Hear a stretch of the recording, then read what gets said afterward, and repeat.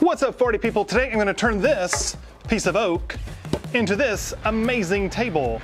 It's a fire epoxy table. Let's get weird. But first, safety. Ow.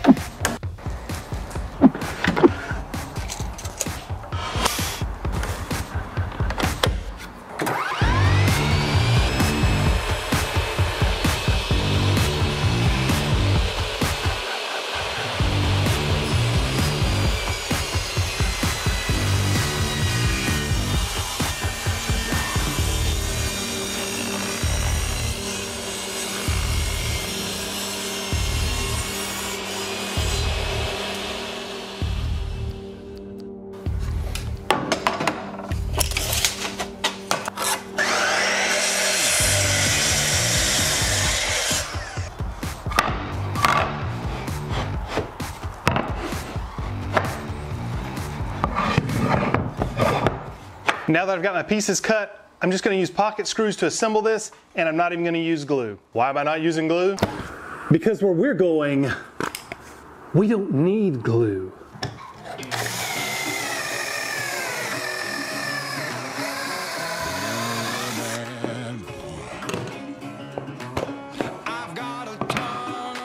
Link in description below. So I've got these marked to line these up, and I've got a circle drawn here in the center where I don't want anything. Now I'm gonna use my handy dandy clamp to keep these level while I screw them together. Link in description below.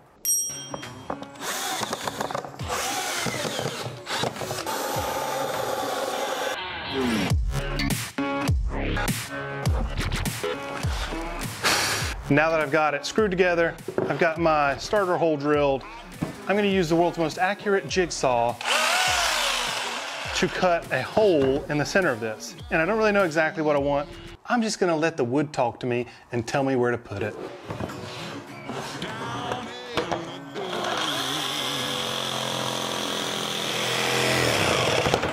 What? What? you shut your mouth, you filthy piece of. You're gonna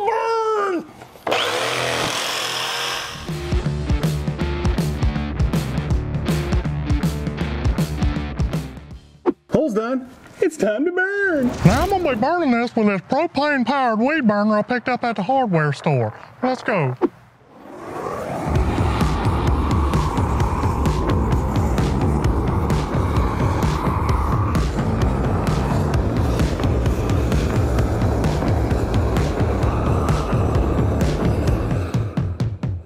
When I made the fire epoxy guitar, I used a softwood for that, and it really burned up quickly and got that deep, crackly, just devastating look. And for this, I'm using red oak, and as you can see, it's taking quite a bit more fire and time to really burn it up and blacken it. You can just start to see it in that bottom right corner. I do love a good fire on a cold day.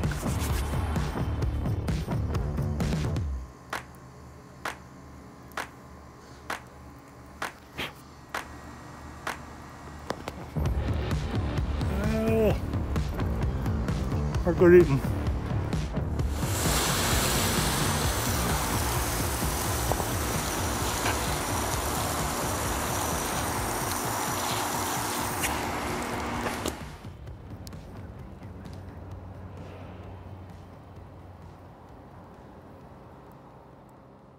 I have let this dry overnight, and I gotta be really careful with how I handle this because it is pretty crumbly. One spot right here already broke off, which is fine because it just kind of adds to the look that I'm going for. I don't want it, I want it to look very natural and busted and burnt, so I think that'll work fine. I'm just gonna lay out some wax paper on top of my workbench here, and I'm gonna put some tabletop one-to-one epoxy on, on this, and I'm gonna put it on the back first, and then I'm gonna flip it over. Because I don't really care what the back or the bottom looks like, I just wanna get it coated, and then I'm gonna put a thin coat on the front of it to make sure that it seals this up pretty good. If you haven't seen the guitar video that I did, the Shou Sugi Ban or whatever you want to call it guitar, the I had lots of issues with bubbles. Even though I sealed it like two or three times, I didn't put a thick enough coat on it, and the bubbles were still coming through whenever I put the last coat on. So I want to make sure that doesn't happen with this.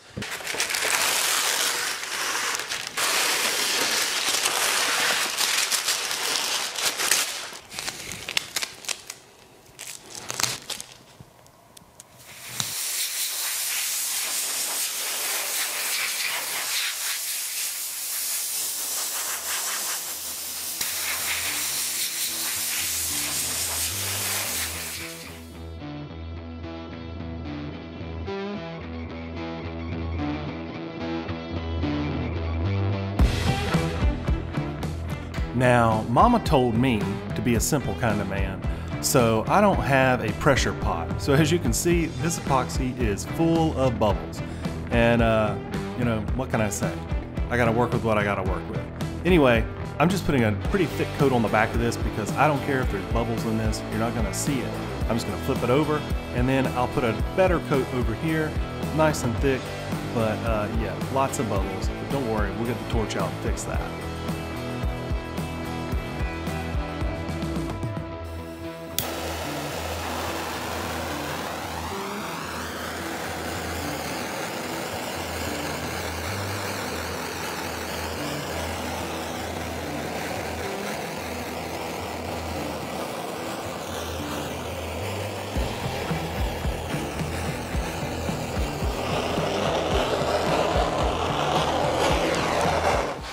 Twenty-four drying hours later.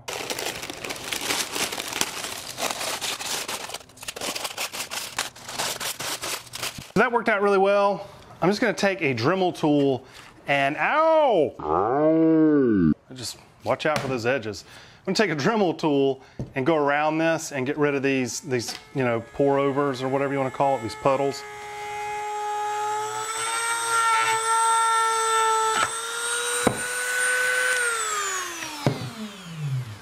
Actually, never mind on that. Let's take it over to the bandsaw first.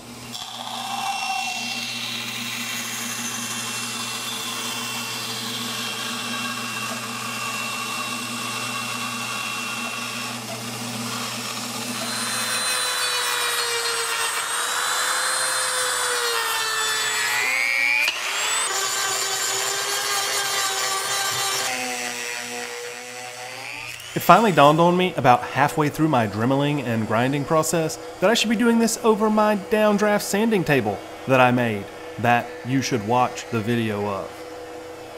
Once the edges were smooth, I just sanded everything with 120 and then 220.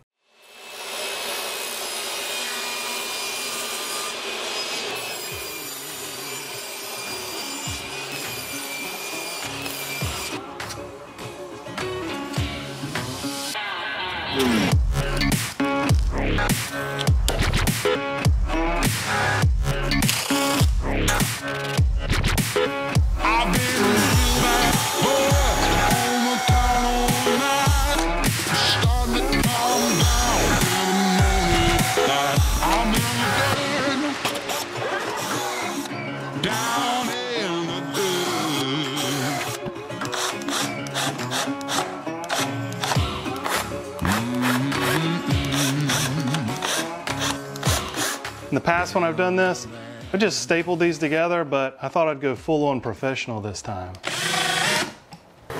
So I've got my tabletop in my form now, and I ran two screws at each one of these corners from underneath to hold it in place.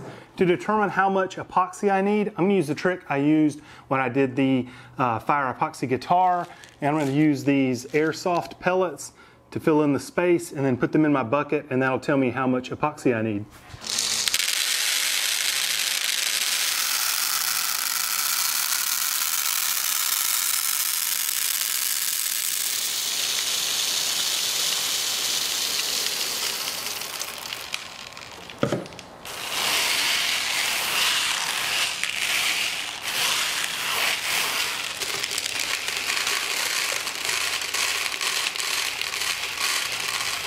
For this deep pour, I'm going to be using liquid glass. This is good for a two to four inch thick pour, and I'm just at about an inch and a quarter here at my thickest part anyway.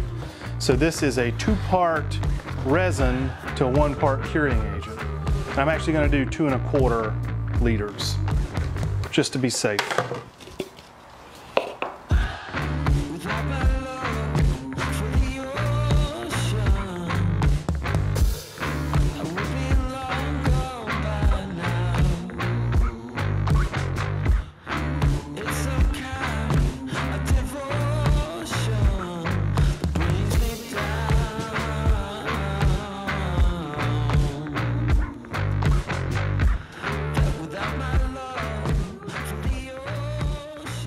Totally forgot to level my form before I poured it, so I had to go back afterwards and I just made sure that my level was totally clean so I didn't drop any dust into this.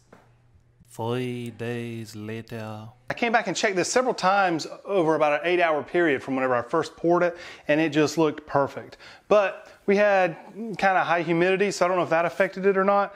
But once I went to bed, it developed some bubbles, and it's actually kind of uh, got some lines running through it, I think from shrinkage from whenever it was drying, maybe a little too fast. I'll go ahead and get it out of here. We'll see what we're working with, but I do know that I'm at least gonna have to put one more tabletop coat on top of this anyway.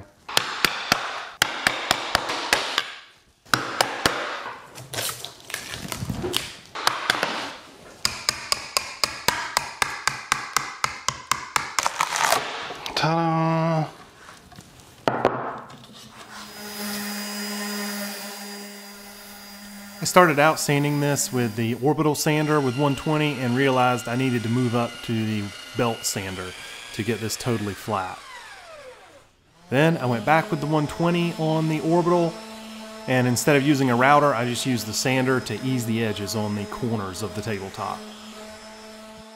I won't bore you with all of the footage, but basically I went back, poured the back side of it, let that dry overnight, then came back the next day and put what will be the final coat on the top of the tabletop.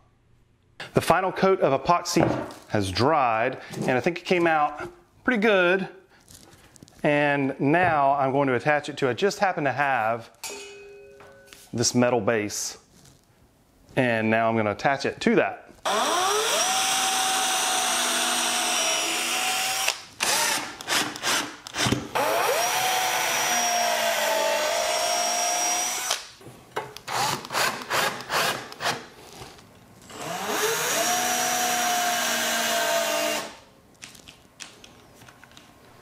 And this is where my drill battery went dead.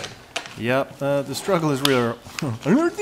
the struggle is real here, folks. I left my main drill at another location and I'm stuck using these other drills that are not appropriate for the situation.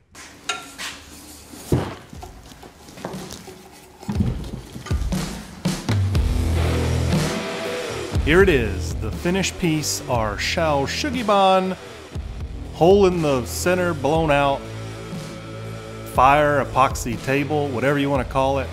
I'm pretty happy with the way it turned out. I don't know if this is rustic or modern, or if this is even a table, or if it's actually just a preserved outhouse seat. You let me know in the comments, and I'll see you next time.